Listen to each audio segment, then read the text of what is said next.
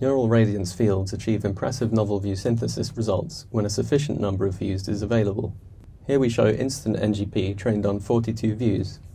When there are few views available for training, the difficulty of the task increases dramatically.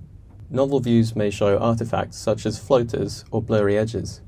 Artifacts are reduced when regularizing with geometric priors or a learned RGB appearance prior introduced in RegNerf. We regularize NERFs using our denoising diffusion model. Here are the models side by side for easier comparison. Although the novel view quality is improved, the recovered geometries may still have artifacts. For example, in this scene the table is highly reflective and the geometric baseline fails to recognize it as a flat surface. Our prior improves 3D reconstruction and novel view synthesis scores over baselines in prior work, especially when fitting NERFs with few views.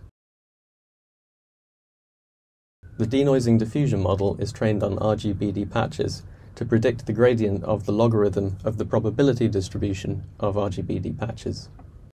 When fitting NERFs, we render a random RGBD patch and feed it to the diffusion model to predict the gradient.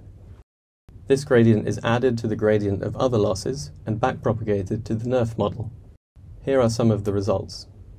In this scene, our model fits a clean geometry to the ceiling in the foreground, even though it's relatively featureless.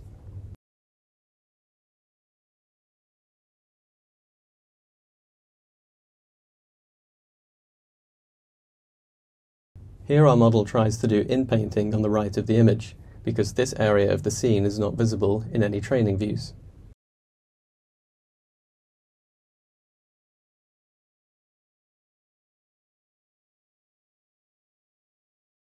In this scene, our geometric baseline fails to fit a plausible geometry to the object of interest.